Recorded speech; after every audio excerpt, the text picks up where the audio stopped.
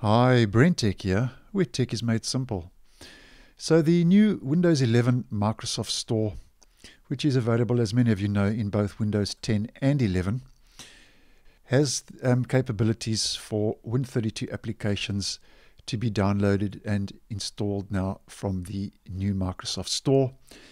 And some examples of that would be Firefox uh, web browser, Microsoft Edge web browser, Opera browser and also Opera GX, just as to mention some examples.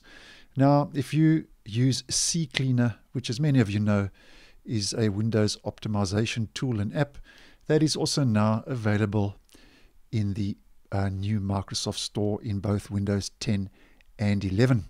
So to get to CCleaner, we just enter CCleaner in the search, and that'll just take us over uh, to the installation page where they say in the description CCleaner is the world's favorite PC optimization tool.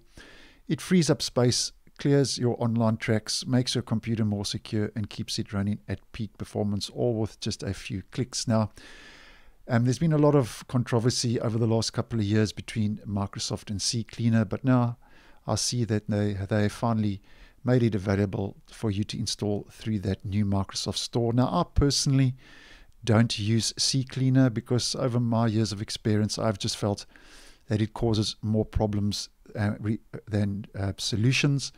And I prefer personally to use the built in tools that come available in both Windows 10 and 11 to optimize, uh, clean my PC, and just to make it more secure.